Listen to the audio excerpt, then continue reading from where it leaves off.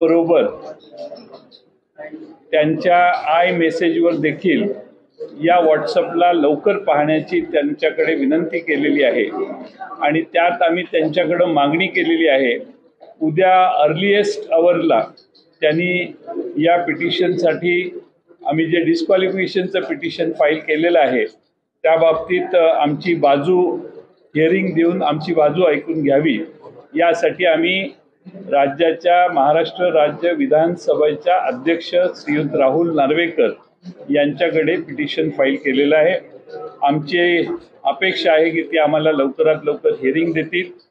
त्याचबरोबर या सर्वानंतर आम्ही इलेक्शन कमिशन ऑफ इंडियाला देखील आम्ही राष्ट्रवादी काँग्रेस पक्षाच्या वतीने या बाबतीत कल्पना दिलेली आहे.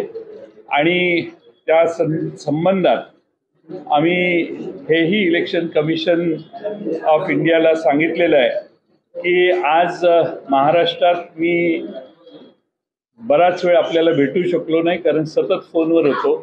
महाराष्ट्रातल्या जवळपास सर्व रँक अँड फाईल्स मधले राष्ट्रवादी काँग्रेस पक्षाचे कार्यकर्ते आज शरद पवार साहेबांच्या बरोबर आहेत. महाराष्ट्रातल्या सर्व जिल्ह्यातील पक्षाचे अनेक पदाधिकारी आणि फार मोठ्या प्रमाणात कार्यकर्ते हे पवार साहेबांच्या समर्थनासाठी बाहेर आलेले आहेत आणि त्यांनी शरद पवार साहेबांच्या नेतृत्वाचं समर्थन केलंय. आणि आज जी घटना घडलेली आहे त्याबद्दल त्यांनी अनेक ठिकाणी नाराजीचा सूर केलेला आहे निषेधाचा सूर देखील दाखवलेला आहे. नऊ आमदार म्हणजे ही पार्टी होऊ शकत नाही. नाईन एम एल एज यांनी जी शपथ घेतलेली आहे ती पार्टीच्या प्रेसिडेंटना राज्य आणि राष्ट्रीय प्रेसिडेंटना न सांगता केलेली त्यांची कृती आहे. आणि त्याबाबत राष्ट्रवादी काँग्रेस पक्ष तातडीनं कायदेशीर पावलं उचलेल असं मी तुम्हाला दुपारी सांगितलेलं. त्याप्रमाणे आम्ही सर्व का पावलं उचललेली आहेत. आणि आम्हाला अपेक्षा आहे की राहुल नार्वेकर विधानसभेचे अध्यक्ष यांनी या बाबतीत आम्हाला लवकरात लवकर बोलवावं. त्याच्यासाठी फिजिकल या पिटिशन त्यांच्याकडे फाईल करण्याची व्यवस्था आम्ही केलेली आहे.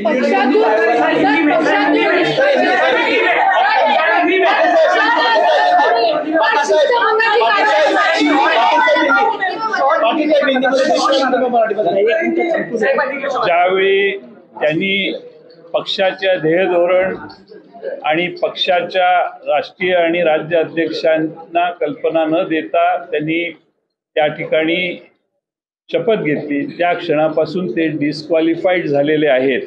आणि त्या संबंधात आम्ही तशी तातडीने पावलं उचललेली आहेत. दे आर डिस्क्वालिफाईड टेक्निकली कारण त्यांनी पक्षाच्या विरोधी पक्षाच्या धोरणाच्या विरोधी ही कृती केलेली आहे. नऊ जणांच्या आज पहिला मराठीत संपवा. नऊ जणांच्या विरोधी हा आकडा असणार आहे कारण नऊ जणांनीच ही कृती केलेली आहे.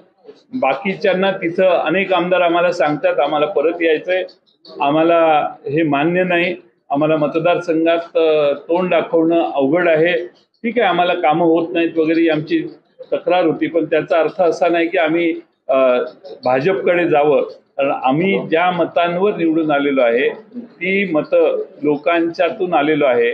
ते भारतीय जनता पक्षाच्या विरोधात तेव्हाच्या व्यवस्थेच्या विरोधात निवडून आलेलो आहोत. आणि त्यामुळं आम्हाला हे योग्य कृती वाटत नाही.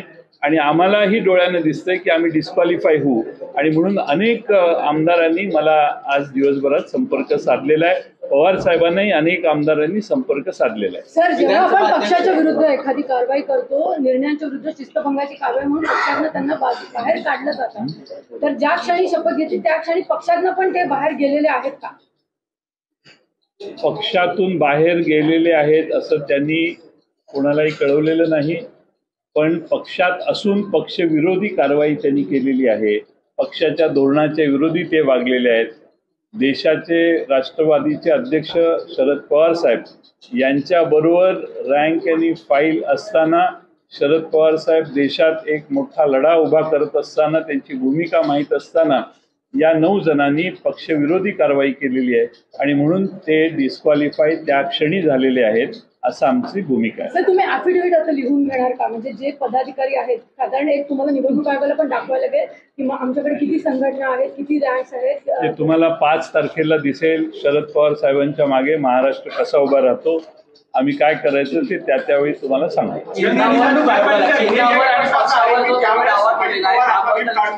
त्यावेळेस त्यावेळेस अजित पवार आपला काढतील त्यावेळेस लागू होईल की अजित पवारांचा मान्य करावा लागेल कारण त्यांना पण संधी त्यांच्या बाजूने मिळेल.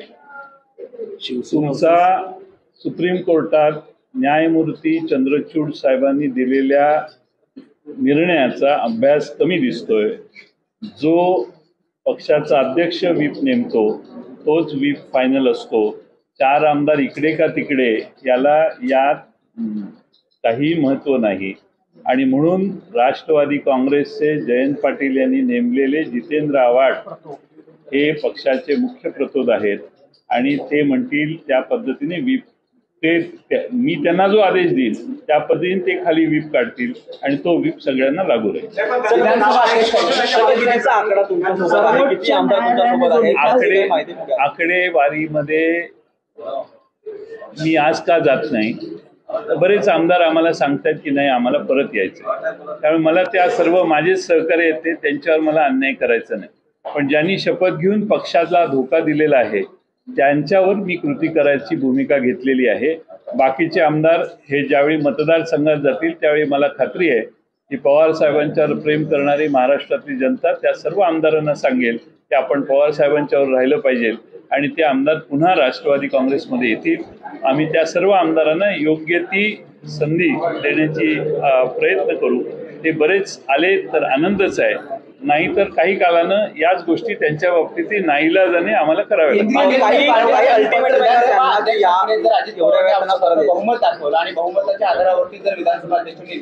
तर? कोर्टाचा निर्णयाचा अभ्यास करा. बहुमताचा विषय याच्यात येत नाही. आणि बहुमताचा विषय आता पवार साहेबांनी सांगितले आता जनतेच्या कोर्टात आमची पुढची लढाई. ती जनतेचं बहुमत हे नक्की आम्ही साबित करू. पण आज पक्षाचा अध्यक्ष या नात्याने जी कृती करणं आवश्यक होतं त्याप्रमाणे बेकायदेशीर झालेली जी शपथविधी आज झाला ज्याच्यात विरोधी पक्षातल्या लोकांनी त्यांना नऊ जणांनी शपथ दिली. त्याच्यासाठी सगळ्यांना बसून त्यांनी ॲफिडेव्हिट केले तिथं काहीतरी सबमिट केलं असेल राज्यपालांनाही सांगितलं असेल आमचा त्यांना पाठिंबा आहे. खरं राज्यपालांनी पक्षाच्या अध्यक्षांच्याकडून कन्फर्मेशन करायला पाहिजे होतं की हे तुम्हाला मान्य आहे का म्हणून.